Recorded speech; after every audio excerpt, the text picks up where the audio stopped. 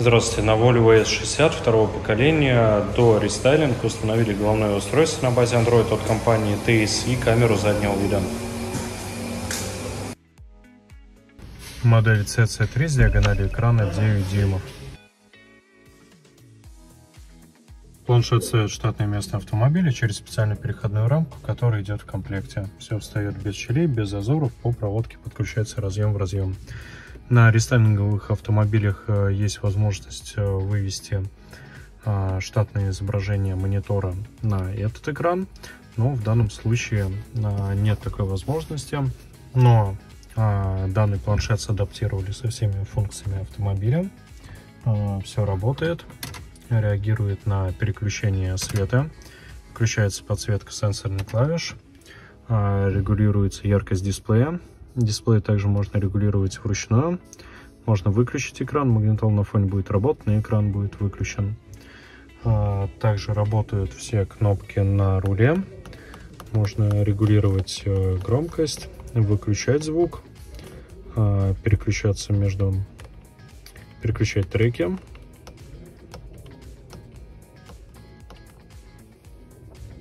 например, вот этим более точно переключать. И здесь переключаться уже именно между станциями. Также большинство кнопок, которые здесь расположены, также функционируют. Например, громкость.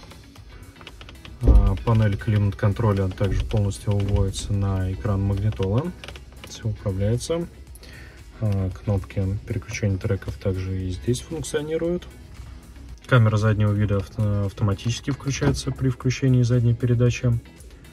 На широким углом обзора 170 градусов, картинка Full HD. А, динамические линии поддерживаются. Также выводится информация по задним и передним парктроникам. Здесь э, индикация идет.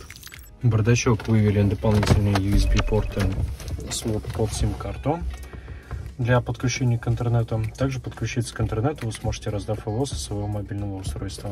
Здесь вы получаете все преимущества Android-системы. Можно скачивать э, любое приложение из э, Play Market.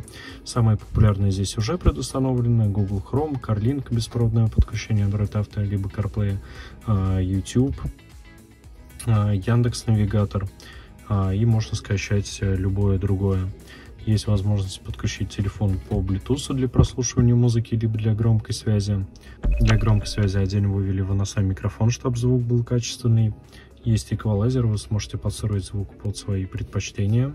Есть функция разделения экрана, можно одновременно запускать два приложения, например, э, YouTube и Яндекс Навигатор видео будет работать в движении без каких-либо ограничений. Голосовой помощник Алиса в Яндекс Навигаторе также будет работать. Все максимально быстро, плавно. Обращайтесь в нашу компанию, у нас вы сможете найти большой выбор различных мультимедийных систем и прочих оснащений для вашего автомобиля. Наш менеджер обо всем расскажет и подберут лучший вариант. Также есть установочные центры в Москве и Питере, где наши мастера грамотно установят и настроят дополнительное оборудование. Есть доставка по регионам с постоплаты, вы сможете принять товар, проверить его и только после этого оплатить. И есть своя служба технической поддержки. Всем удачи!